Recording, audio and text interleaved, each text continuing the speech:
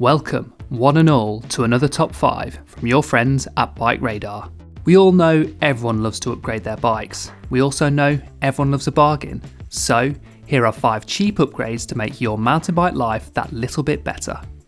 And before we get on with the show, don't forget to like, subscribe, and click that little bell icon so that every time we upload a video, you get a notification. We've said it before, and we'll no doubt say it again. One of the best upgrades you can do to any mountain bike is to run your wheels tubeless. If you're not familiar with the system, it means removing those puncture prone inner tubes and replacing them with some latex based sealant.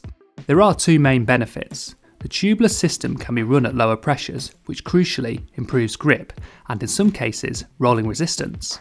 Secondly, the latex sealant inside a tubeless tyre does a much better job of preventing and sealing punctures than regular tubes. So, what do you need to buy?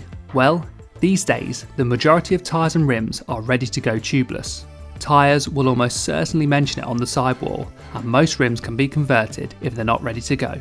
You may well need some tubeless tape, a pair of tubeless valves, and some sealant.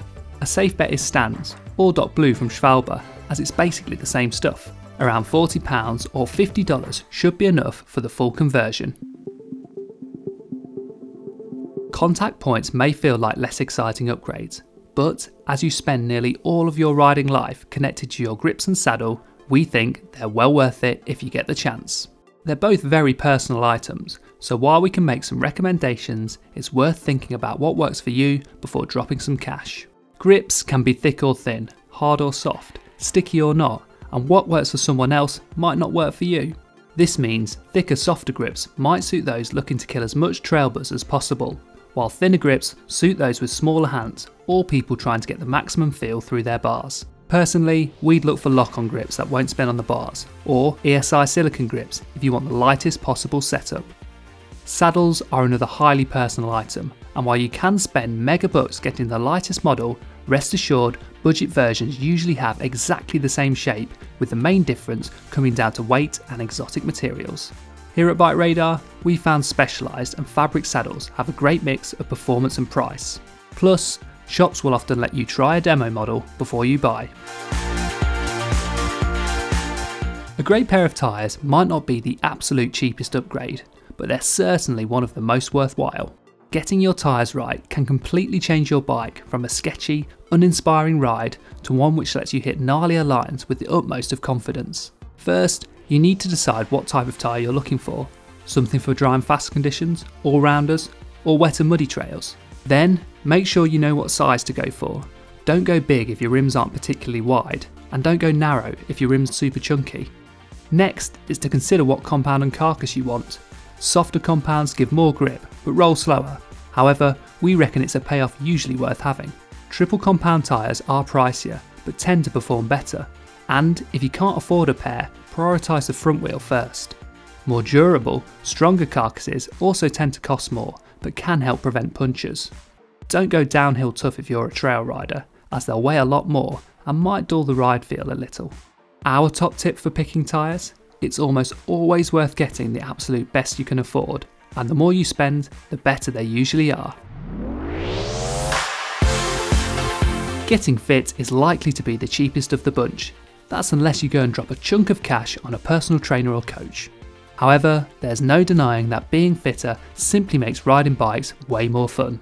And if you're smart about it, the process of getting there doesn't need to be an ordeal either. Being stronger means you're able to ride more and hurt less. This also has the side benefit of making your riding buddies have to push that little bit harder to keep up. We've tried a mix of methods here at BikeRadar, from always going that extra lap to adding some sprints in throughout your ride. With consistency, small changes like this can really add up over time. But we're not qualified coaches, so if you want to get fitter, there's plenty of free resources online to give you the tips you need when getting started.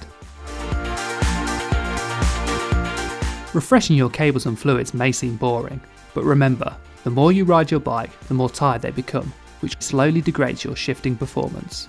While it is possible to remove the inner cables from the outers and give them a quick wipe down, a new set of inners and outers is low cost, and, once fitted, is the bicycle equivalent of popping on fresh bed sheets.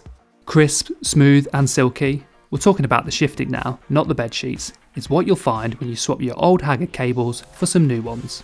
While you're at it, give your brakes a quick bleed as well. This should get them back to that pin sharp feeling they had when new. A bleed kit may cost a little more than fresh cables, but you'll be able to keep your brakes in tip top condition for years to come. What do you think to our list? Do you have any upgrade recommendations of your own? As always, let us know in the comments. Don't forget to like and subscribe and click that little bell icon so that every time we upload a new video, you get a notification.